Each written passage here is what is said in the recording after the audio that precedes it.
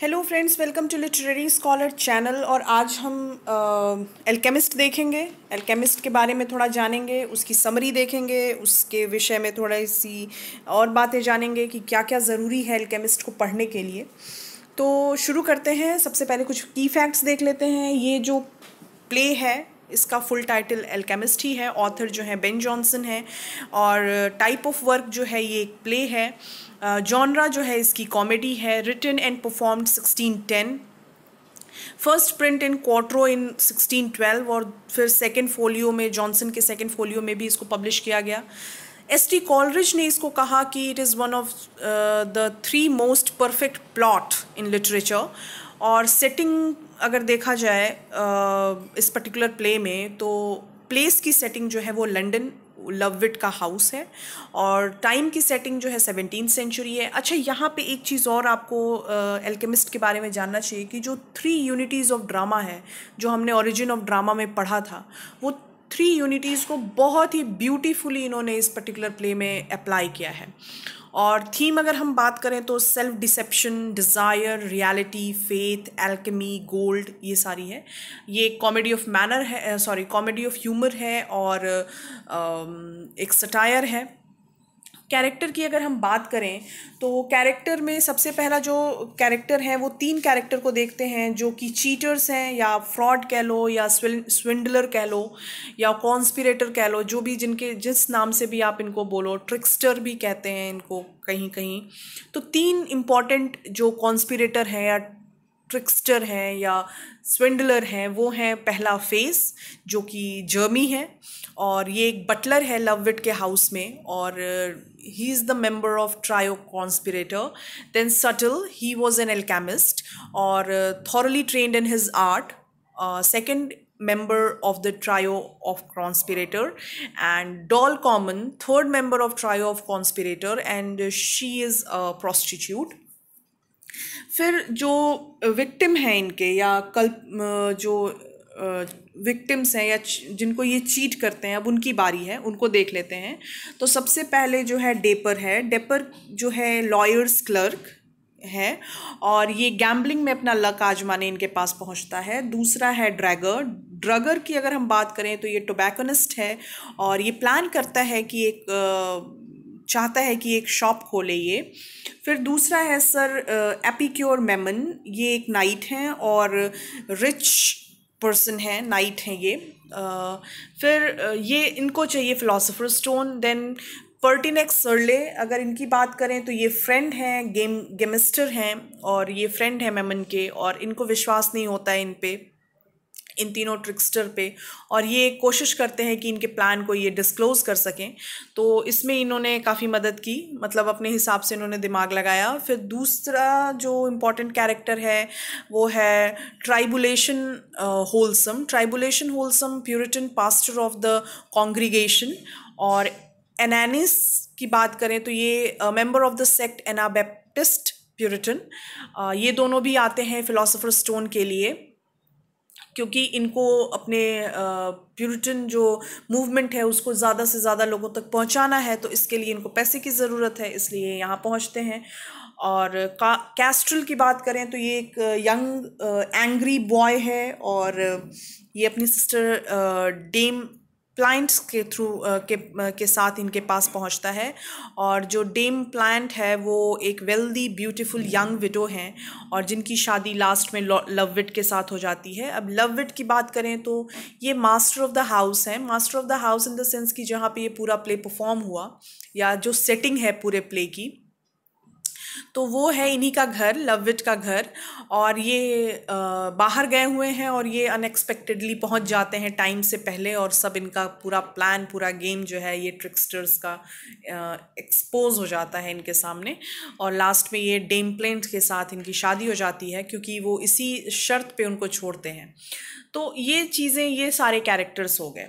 अब कुछ इंपॉर्टेंट आपको चीज़ें जानना ये ज़रूरी है कि जो प्ले है वो स्टार्ट होता है प्रोलॉग के थ्रू और इस प्रोलॉग में जो मतलब ये ऐसा प्ले है जिसके, जिसमें प्रोलॉग लिखा गया और the line resemble heroic couplets but they are quite different in their impact जो लाइन है वो हीरोइक कपलेट जैसी लगती हैं लेकिन वो बहुत ही डिफरेंट है।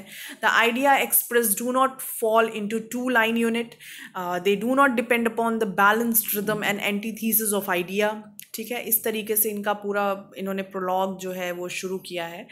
तो प्रोलॉग के साथ ये जब शुरू होता है प्ले और प्रोलॉग के बारे में हमने थोड़ा सा जान लिया। अब बिफोर कि हम अंदर घुसें एक्ट वाइज हम समरी देखें आ, हमें दो तीन पॉइंट क्लियर कर लेना चाहिए क्योंकि ये चीज़ें रेगुलर बेसिस पे प्ले में आएँगी और आपको उसके बारे में जानकारी रखनी चाहिए क्योंकि तब आपको प्ले समझने में ज़्यादा आसानी होगी। तो शुरू करते हैं। सबसे पहले आपको ये समझना होगा कि बेन जॉनसन ने ये प्ले एल्केमिस्ट लिखा क्यों? What is the purpose of writing this play और क्या ज़रूरत थी एल्केमिस्ट पे लिखने के लिए? तो इसको ऐसे आप कह सकते हो कि जब भी आप कोई आर्ट या कोई प्ले पढ़ते हैं या कोई मास्टर पीस पढ़ते हैं तो कहा जाता है कि मास्टर पीसेस वही होते हैं जो अपने टाइम को बहुत ही ब्यूटीफुली अपने अंदर समेटे हुए होते हैं। तो एल्केमिस्ट भी ऐसा ही है। एल्केमिस्ट अपने पूरे टाइम का एक रिफ्लेक्शन आपके सामने रखते हैं बेन जॉनसन एल्केमिस्ट के थ्रू ऐसा माना जाता था मिडिल एजेस में सेवनटीन सेंचुरी से काफ़ी पहले, कि एक ऐसा केमिकल प्रोसेस है, जिसके थ्रू किसी भी मेटल को गोल्ड या सिल्वर में कन्वर्ट किया जा सकता है। और this pseudo science was expression both men's greed and his perennial desire for conquest over nature और ये जो पर्टिकुलर चीज़ है, वो इंसान के अंदर की लालच को, इंसान के अंदर के लालच को और उसका नेचर पे ओवर पावर करने की चीज़ को हमारे सामने रखता है। मिडिल एजेस में इस तरीके की चीज़ें शुरू हुई।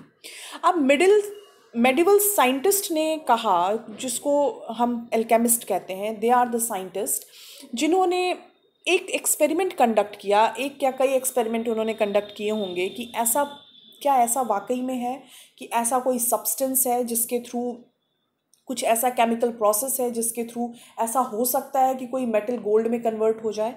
और वो कंक्लूजन पे आए एक फ़िलासफ़र स्टोन करके नाम पे कि ये एक तरीके का फ़िलासफ़र स्टोन है जिसके थ्रू आप आ, किसी भी मेटल को आप गोल्ड या सिल्वर या किसी भी प्रीशियस मेटल में स्पेशली गोल्ड या सिल्वर में आप कन्वर्ट कर सकते हैं।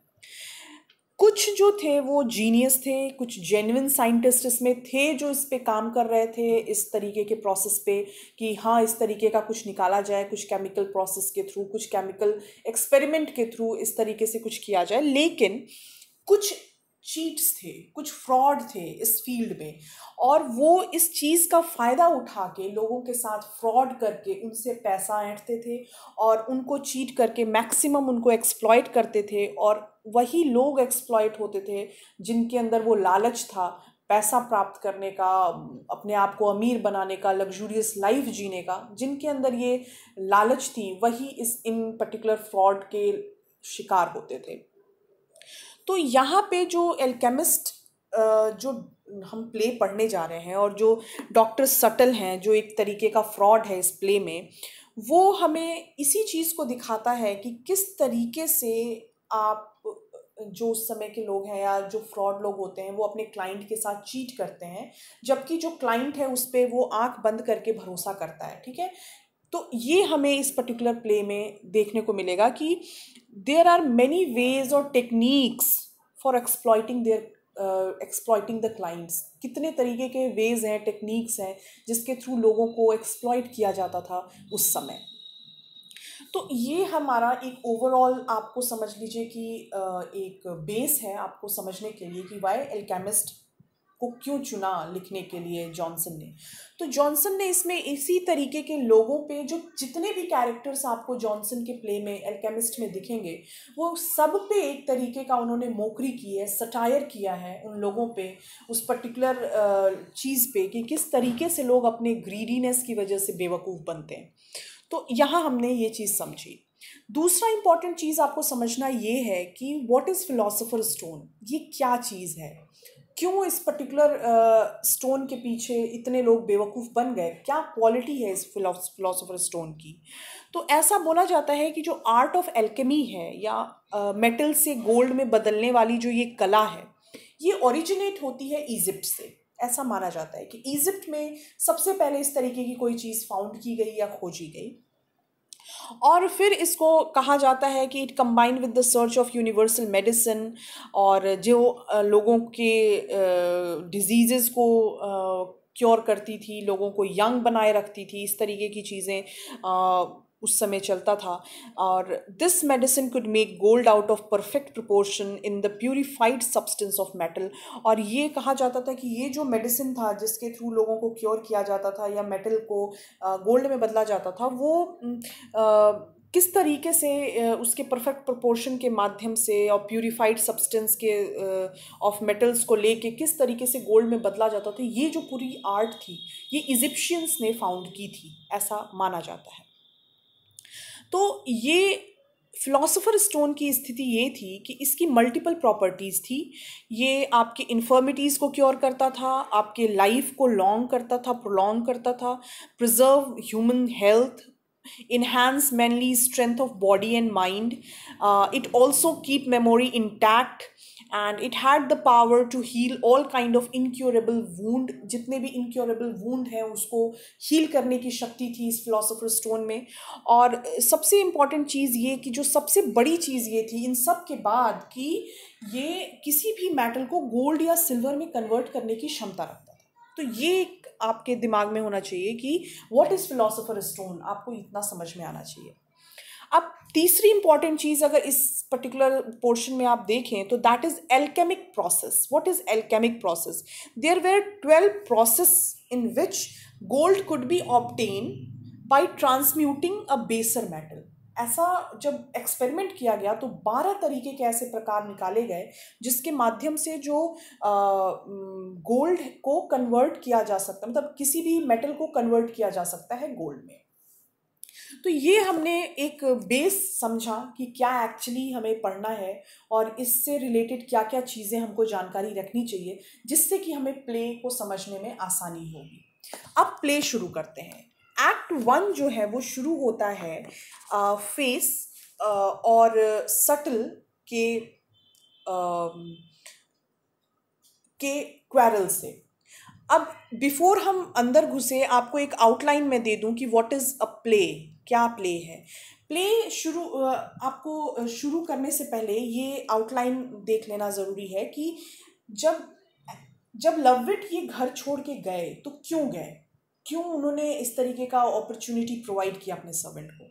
तो उस समय बोला जाता था कि लंदन में प्लेग फैला और आउटलाइन जो प्ले की है प्लेग की वजह से जो लवविट हैं, वो अपना सब कुछ, अपना जो बड़ा सा मेंशन या घर कह लीजिए जो भी उनके पास था, वो अपने नौकर जर्मी के हाथ में रखते हैं और वो वहाँ से कंट्री साइड की तरफ़ मूव कर जाते हैं, जिससे कि वो जो एपिडेमिक फैला हुआ है पूरे लंदन में और वो उन तक ना पहुँचे या उससे वो इन्फेक्टेड ना हो और इस वजह से वो अपना सब कुछ, एक रिच आदमी होने की वजह से वो अपना सब कुछ जो घर है, वो अपने नौकर एक फेथफुल नौकर के सामने कहते हैं कि जब तक मैं ना आऊँ, तब तक इस पूरी प्रॉपर्टी का आप ख्याल रखिए। और वो कंट्री साइड की तरफ़ निकल जाते हैं। अब जो फे जर्मी है जर्मी के दिमाग में एक फितूर आता है और वो सोचता है कि क्यों ना इस जो अपॉर्चुनिटी हमें मिली है, उसका कुछ फ़ायदा उठाया जाए, कुछ पैसे बना लिए जाए। तो ये अपने फ्रेंड सटल जो कि एक एल्केमिस्ट है, अपने आप को क्लेम्ड एल्केमिस्ट बोलता है और डॉल कॉमन जो कि एक प्रोस्टिट्यूट है।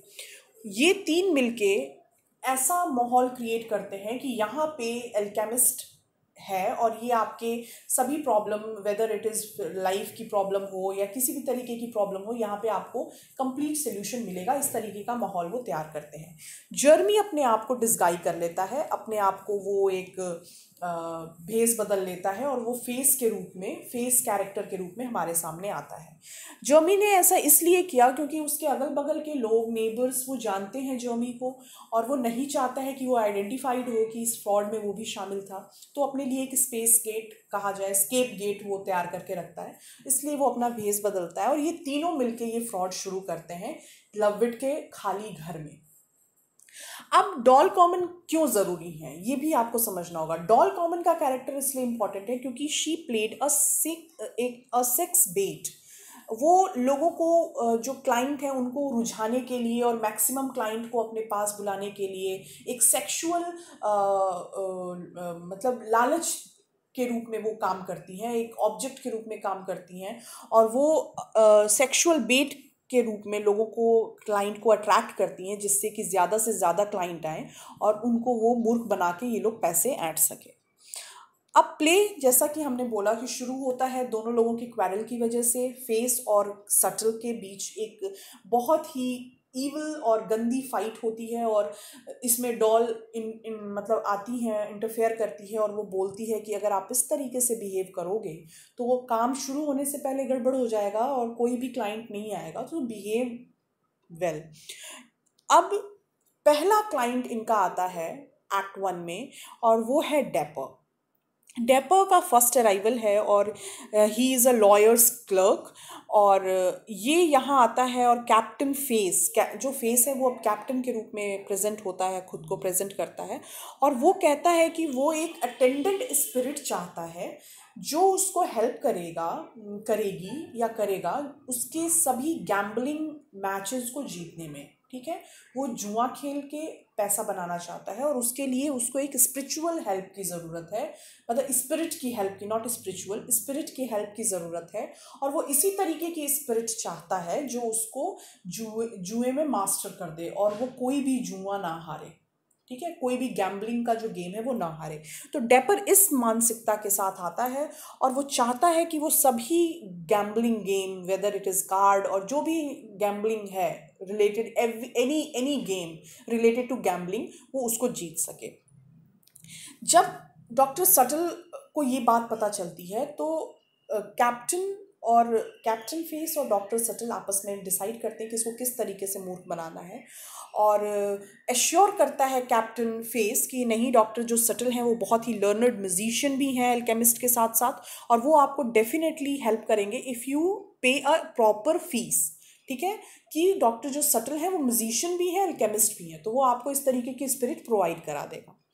अब ये क्या होता है कि आपस कैप्टन जो है कैप्टन फेस ये डॉक्टर सटल के पास जाते हैं और ये बाहर डेपर जो है वेट कर रहा है और वो आपस में विस्पर करने की कोशिश करते हैं। वो चाहते हैं कि जो वो बात कर रहे हैं ये दोनों कैप्टन फेस और डॉक्टर सटल वो डेपर सुने। पर वो प्रिटेंड करते हैं कि वो आपस में विस्पर में बात कर रहे हैं।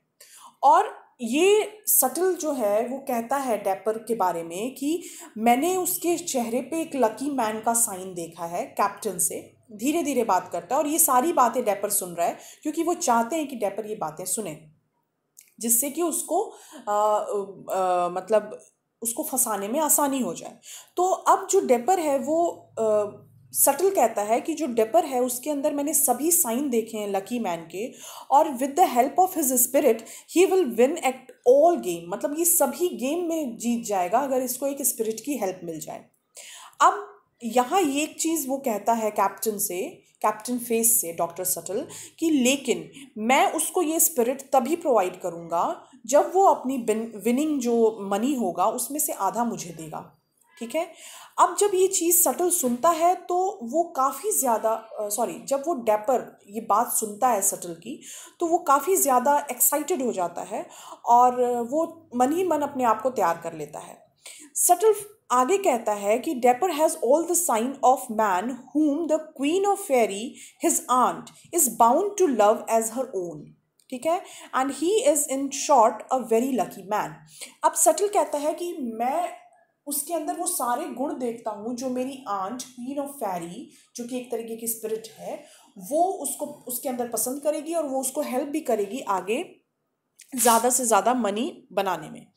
अब डैपर जो ये सब कन्वर्सेशन सुन रहा है, वो तैयार हो जाता है अपनी सारी पैसे इस पर्टिकुलर बेवकूफ़ी में लगाने के लिए और वो ऐसा ही करता है और वो कहता है कि सटल कहता है कि एक बजे आप आना, मैं क्वीन ऑफ़ फेरी को तैयार रखूँगा आपसे मिलने के लिए और ये कह के वो डेपर को वापस भेज देते हैं।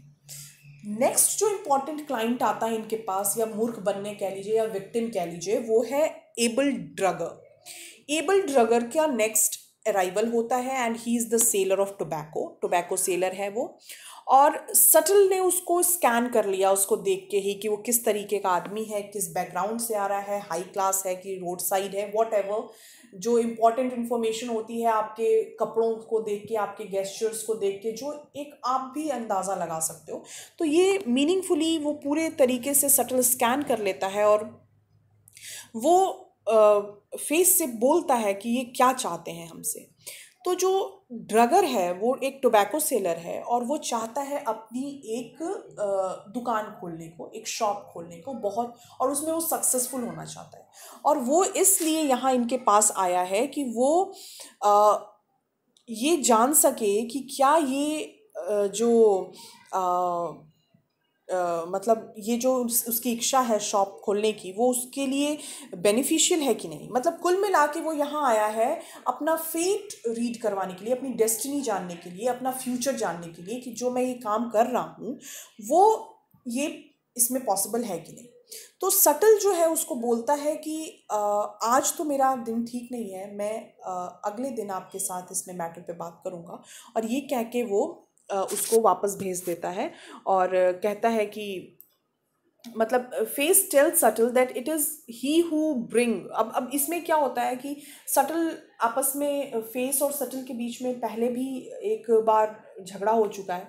दोबारा फिर झगड़ा होता है, जैसे ही ड्रगर जाता है और सटल उसको कहता है कि मैं आपको बाद में बताऊँगा ये सारी चीज़ें तो जैसे ही वो जाता है तो फेस और सटल के बीच में फिर से एक लड़ाई शुरू हो जाती है और वो फेस कहता है कि मैं इतना सब कुछ मेहनत करके आपके पास क्लाइंट ला रहा हूँ तो इसमें मेरा मेहनत ज़्यादा है तो मुझे पैसा ज़्यादा मिलना चाहिए मुझे शेयर ज़्यादा मिलना चाहिए।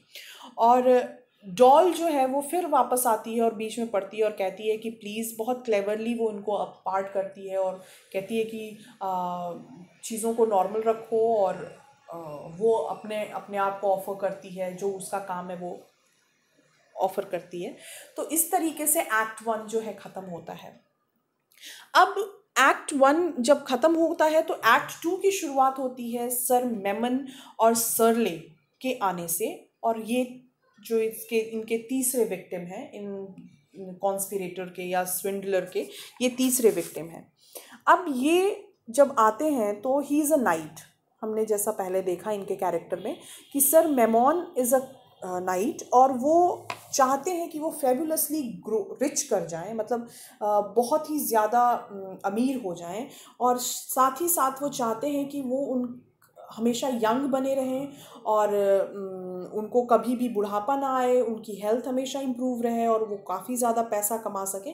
तो इस वजह से ये इनके पास आते हैं कि वो फ़िलासफ़र स्टोन इन एल्केमिस्ट से बनवा सकें। तो अब यहाँ पे जैसे ही वो आते हैं तो सटल उनको प्रॉमिस करते हैं कि आज हम आपको ये फ़िलासफ़र स्टोन दे देंगे। और मेमन कहता है तो फिर फेस पूछता है मेमन से कि ये जो दूसरा आदमी आपके साथ आया है सरले जो है वो कौन है? तो मेमन बताता है कि ही इज़ माई फ्रेंड और उसको एल्केमी पे विश्वास नहीं है इस तरीके की चीज़ों पे। मैं वहाँ, यहाँ इसको इसलिए लाया हूँ कि इसको ये चीज़ पे विश्वास हो जाए। लेकिन जो सरले हैं, उनको डाउट रहता है इस तरीके की चीज़ों पे कि इस तरीके का कोई स्टोन है।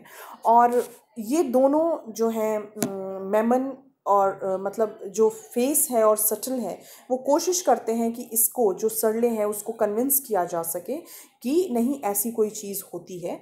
और फेस कहता है कि जो आपका फ़िलासफ़र स्टोन है, वो परफेक्ट फॉर्म में तीन घंटे में तैयार हो जाएगा। Mammon was very delighted but Surly was not con मतलब कन्विंस्ड वो, उसको नहीं लगता है कि ऐसा, उसको लग जाता है कि ये कुछ फ्रॉड कर रहे हैं।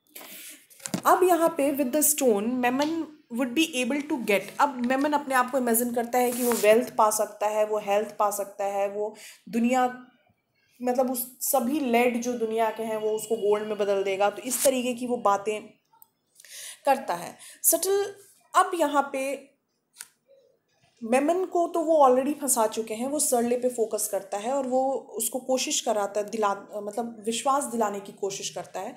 और इसी चक्कर में वो उसकी गर्नेस को देखते मेमन की गर्नेस को देख के और अपनी तरफ़ थोड़ी सी सरले की फेथ प्राप्त करने के लिए वो कहता है कि आपका जो ये इगरनेस है और इस पर्टिकुलर स्टोन को पाने के लिए ये शो करता है कि आप उसको मिसयूज़ करोगे।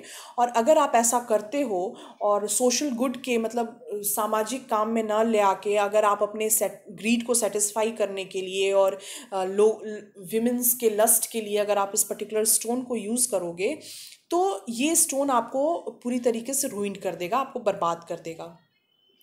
तो ये इस तरीके की बातें वो इसलिए करता है क्योंकि जो सरले है वो उसके साथ है और वो सटल जाता है कि वो पूरी तरीके से सरले को भी अपने उन बातों में फंसा के उनको लूट सके। तो इस तरीके से वो काफ़ी कन्विंस करने की कोशिश करता है सरले को और फिर जो the learner doctor then direct Face to go in and see if everything is going well and there is no difficulty at all in any of the processing going on वो जो अंदर उसका जो प्रोसेस बन रहा है मेमन का जो प्रोसेस जो फिलोसफर स्टोन बन रहा है तो वो जाके, वो सटल को कहता है सटल फेस को कहता है कि जाके देखो कि वो प्रॉपरली बन रहा है कि नहीं। और इस तरीके से वो पूरी तरीके से वो जार्गन लैंग्वेज में कुछ बड़ी बड़ी बातें करते हैं और कुछ हाई साउंडिंग और बॉम्बेस्टिक लैंग्वेज में यूज़ करते हैं। मतलब वो शो करते हैं कि नहीं कुछ काम अंदर चल रहा है इस तरीके से। और ये एक बहुत ही Uh, मतलब एक तरीका यहाँ हमें देखने को मिलता है कि किस तरीके से वो अपने क्लाइंट को बेवकूफ़ बनाते थे। और वैसे ही यहाँ पे एक जो ट्रिक हमें देखने को मिलती है कि जैसे ही फेस बाहर आता है और कहता है कि, सी, मुझे कुछ मटेरियल की ज़रूरत है फ्रेश मटेरियल की ज़रूरत है। और वो अगर नहीं आया, अगर डिले हो गया तो सब कुछ ख़त्म हो जाएगा। और वो ये कनिंग डिवाइस होता है to extract more money from Mammon and they succeeded in it और मेमन जो है वो इमीडिएटली कुछ टेन पाउंड और फेस को देते हैं कि जाओ जाओ और लेकर आओ और इस मिशन को कंप्लीट करो। तो ये पूरा हमें जो एक्ट टू है, इसमें ये सब चीज़ें हमें देखने को मिलता है और सरले को पूरा डाउट है कि नहीं, ये लोग कुछ अलग अलग तरीके का कुछ गड़बड़ कर रहे हैं और इसी वक्त डॉल जो है वो नज़र आती हैं और डॉल एक डिस्टेंस से ये इनको देख रही होती है। अब डॉल का अपियरेंस सटल को अच्छा नहीं लगता क्योंकि वो नहीं चाहता कि जो काम स्मूथली चल रहा है, उसमें किसी भी तरीके की गड़बड़ी हो। लेकिन फेस आके उन सब सिचुएशन को संभाल लेता है और वो कहता है कि ये जो लड़की आप मैनन पूछता है कि हु शी इज़ तो ये बताते हैं कि वो एक लॉर्ड की सिस्टर हैं और वो मैड uh, हो गई हैं उनका दिमाग ख़राब हो गया और वो यहाँ पे अपने treatment her brothers she has been sent there by her brothers for treatment और वो मतलब अपने भाई के लिए मतलब अपनी अपने ट्रीटमेंट के लिए यहाँ आई हुई हैं। लेकिन सरले को इस इनके शब्दों पे विश्वास नहीं होता क्योंकि वो देख के लेडी को उसको लग जाता है कि ये एक प्रोस्टिट्यूट है, ये कोई और नहीं है। लेकिन मेमन जो है, वो उसके चाम में आ जाते हैं और यहाँ पे हमें डॉल का असली कैरेक्टर दिखता है कि वो किस लिए वहाँ पे रखी गई थी और वो डिज़ायर करते हैं कि इनके साथ वो इंटीमेट रिलेशन बनाए, मेमन और और वो फेस को कहते हैं कि अगर मैं आपको एक्स्ट्रा मनी दूँगा तो क्या आप ये लेडी मुझे मतलब लेडी के साथ मेरी मीटिंग फिक्स कर दोगे? और वो इसी तरीके से कह के सटल को भी फेस को कहते हैं और सटल को कहते हैं कि मैं आ, कुछ समय के बाद आऊँगा और आ, मतलब इनके साथ मेरी मीटिंग चाहिए। तो इस तरीके से कह के वो हाफ़ एन आवर का टाइम लेकर वो निकल जाते हैं और मेमन भी आ, ये कह के मतलब श्योर खुशी खुशी जाता है कि अब मुझे इनके साथ जो है वो टाइम बिताने का मौका मिलेगा।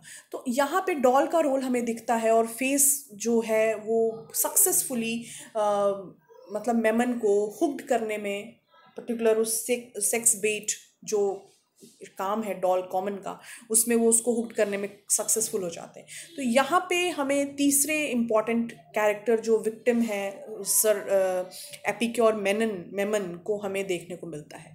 अब दूसरा जो इसके बाद कैरेक्टर एंट्री करता है, वो प्यूरिटन्स हैं। प्यूरिटन में एनिनेस करके नाम है उनका और एनानिस का जो है वो प्यूरिटन अराइव करते हैं। He was he has come from the group of exiled puritans with their head quarters at Amsterdam ये एग्जाइल्ड प्यूरिटन के ग्रुप से हैं और वो यहाँ पे आते हैं, इनको भी फ़िलासफ़र स्टोन चाहिए क्योंकि वो चाहते हैं कि जो उनका प्रोपोगंडा है, वो ज़्यादा से ज़्यादा लोगों तक पहुँचे और वो उसके लिए पैसे की ज़रूरत है और वो फ़िलासफ़र स्टोन की ज़रूरत है जिससे वो मैक्सिमम पैसा बना सकें और उनका जो मिशन है वो कामयाब हो सके। तो इसके लिए इन्होंने ऑलरेडी सटल को पैसा दे रखा है और जब सटल उनको देखता है एनानिस को तो वो पहले तो बहुत ही टेक्निकल एल्कैमी लैंग्वेज में उनसे बोलता है जो जो बिल्कुल उनको समझ में नहीं आता। और फिर वो मतलब बोलता है कि मुझे और पैसे की ज़रूरत है, सटल उनको बोलता है और पैसे की ज़रूरत है जिससे मैं कोयला खरीद सकूँ और आपका जो फ़िलासफ़र स्टोन है वो मैं बना सकूँ। लेकिन जो फादर हैं मतलब ये जो एनिनेस हैं, वो इस इस तरीके के किसी चीज़ के लिए तैयार नहीं होते, उनके पास पैसा नहीं होता और इसके लिए बहुत ही सटल फ्यूरियस हो जाते हैं और वो बहुत ही उनको बुरा भला बोलता है और कहता है कि अगर आपने अपने सीनियर के साथ इस मैटर पे बात नहीं किया तो आपका जितना भी पैसा है वो डूब जाएगा क्योंकि जो एल्केमी का प्रोसेस होता है, वो बहुत ही परफेक्शन के साथ होता है और अगर उसमें कोई भी चीज़ ऊपर नीचे हुई तो जो स्टोन है वो प्रॉपर नहीं आ पाएगा और वो ख़राब हो जाएगा। तो ये कह के वो इस तरीके से जो है वो उनको मूर्ख बनाता है प्यूरिटन के जो एन एनानिस हैं। अब प्यूरिटन का यहाँ जब बात आई है तो आपको ये समझना चाहिए कि क्यों प्यूरिटन पे भी इन्होंने काम किया? मतलब क्यों लिखा? प्यूरिटन का कैरेक्टर उन्होंने क्यों डाला? प्यूरिटन मूवमेंट जैसा हम जानते हैं it is a political moral reform था। They are one who revolt against the Catholic and church and court इनके अगेंस्ट इन्होंने रिवॉल्ट किया था। अब जॉनसन ने इन पे मोक किया है, क्योंकि he is related to the court and वो उस तरीके के माहौल से नहीं थे। तो इसलिए इन्होंने इस पर्टिकुलर कैरेक्टर uh, के थ्रू प्यूरिटन्स पे भी मूव किया है। तो अब यहाँ पे हमको देखने को मिलता है कि किस तरीके से फ्रॉडुलेंट प्रैक्टिस के थ्रू वो अपने कैरेक्टर अपने जो क्लाइंट्स हैं उनको वो मूर्ख बनाते हैं। और कैप्टन मतलब चाहे वो डेपर हो, चाहे वो ड्रगर हो, चाहे वो मेमन हो, चाहे वो प्यूरिटन हो, ये इस तरीके से सभी लोगों को जो है वो बेवकूफ़ बनाता है और पैसे लेने की कोशिश करते हैं। तो ये यहाँ पे जो है एक्ट सेकंड जो है वो एंड होता है और एक्ट सेकंड तक हमने देख लिया और एक्ट जो थर्ड है वो हम नेक्स्ट लेक्चर में करेंगे अदरवाइज़ लेक्चर काफ़ी लंबा हो गया आई थिंक तो उसको नेक्स्ट लेक्चर में कंप्लीट करेंगे। आई uh, होप कि आपको इसमें समझ में आया होगा एल्केमिस्ट अगर कुछ डाउट रह गया हो तो प्लीज़ आप मुझे कमेंट सेक्शन में लिख के बताइएगा। I definitely try to solve all the comment sorry all the doubt आपके जितने भी डाउट हैं उसको क्लियर करने की कोशिश करूँगी। और till then take care of yourself stay blessed and have a nice day thank you